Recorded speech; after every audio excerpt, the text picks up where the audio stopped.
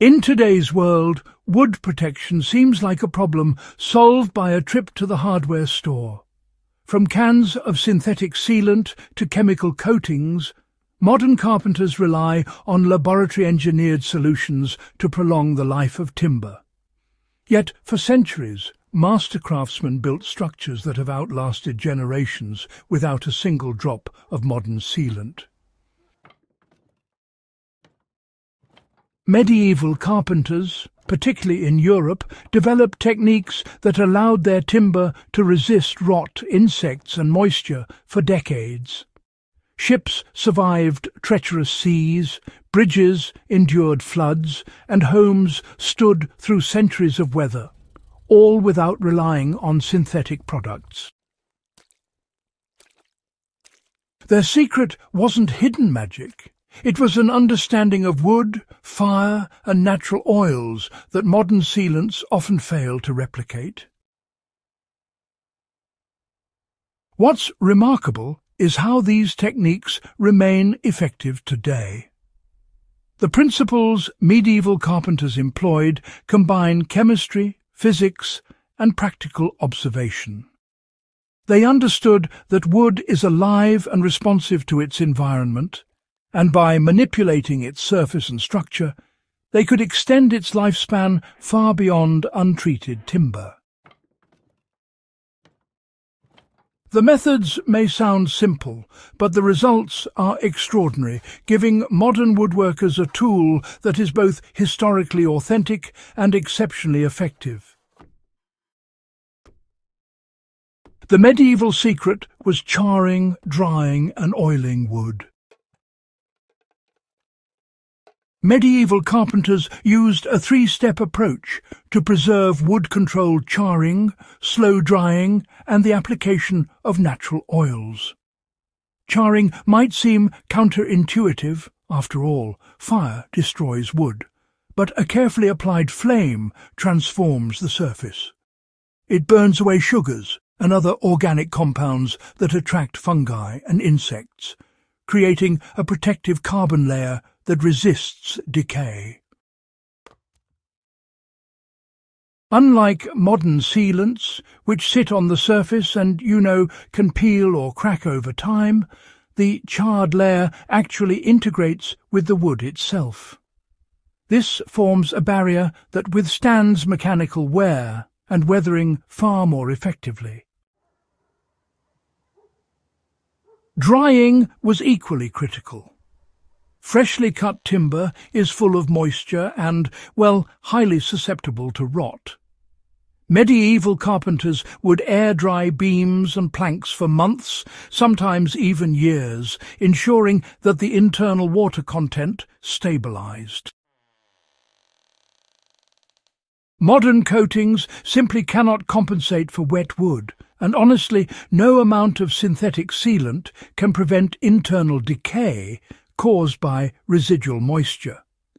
Finally, the application of oils, such as linseed, walnut, or even pine resin, infused the wood with a hydrophobic layer, repelling water while keeping the timber flexible.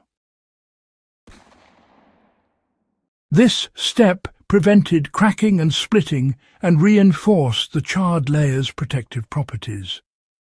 When combined, these steps created timber that could survive centuries. Evidence of these techniques appears across Europe. Medieval churches, bridges and timber-framed houses reveal beams that remain solid despite centuries of exposure. In some Scandinavian shipyards, Viking and later medieval hulls show charred planks treated with oils, surviving saltwater and storms for decades. Ah, bridges constructed in Germany during the 1400s, they truly are a marvel. These structures exhibit beams with the same triple-layer treatment we've been discussing. Remarkably, many of these bridges required only minor maintenance over the course of hundreds of years. Quite impressive, isn't it?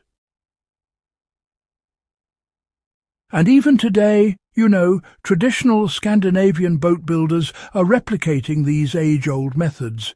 They apply controlled charring and oils to new planks, creating vessels that are far more resilient than those made with chemically coated timber. It's fascinating how some techniques just stand the test of time, isn't it? The historical proof is, well, quite clear. This is a method grounded in observation and practical experience rather than convenience or marketing hype. It's a testament to the ingenuity and resourcefulness of our ancestors, really. All right, to apply this technique, start by selecting straight-grained, high-quality wood. Hardwoods, such as oak, ash or elm, are ideal choices. However, you know, softwoods can also benefit from careful treatment. Allow the wood to dry completely and ideally this should be done in a well-ventilated covered area.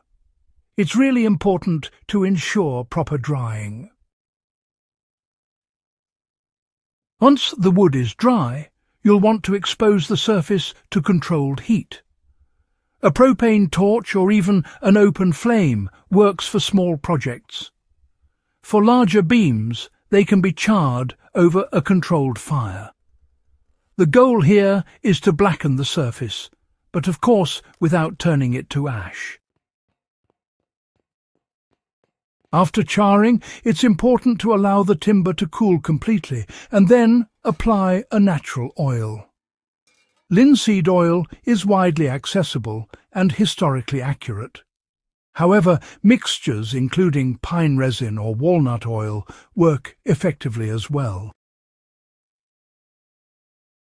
Now it's time to rub the oil thoroughly into the surface.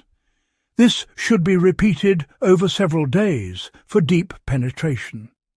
For beams that are set into the ground or exposed to high moisture, the charred and oiled layer should cover all exposed areas. The results are quite remarkable. The wood resists water, insects and rot far better than untreated timber or many modern sealants. So this method is ideal for outdoor furniture, garden structures, tool handles, or even, you know, full-scale construction. Raised garden beds treated this way, well, they last far longer than conventional lumber and tool handles, they maintain strength and really resist cracking under heavy use. Bushcrafters, survivalists and historical reenactors can, with confidence, apply this technique to shelters, bridges or watercraft, knowing that the wood will endure. Even small-scale projects benefit, you know. Charring the ends of posts or the edges of planks provides, well, disproportionate protection, reinforcing the structure right where decay usually begins. The beauty of this approach lies in its sustainability. It uses natural, accessible materials, is honestly environmentally friendly, and replicates centuries-old craftsmanship. By combining char, drying and oils, modern woodworkers gain a method proven over centuries, without relying on industrial chemicals that degrade over time. If you found this guide valuable and want more insight into historical craftsmanship, practical survival techniques and time-tested methods for building durable structures, subscribe to Echoes of Valor. Share this video with fellow history enthusiasts, woodworkers and survivalists who want to preserve wood the way medieval carpenters did.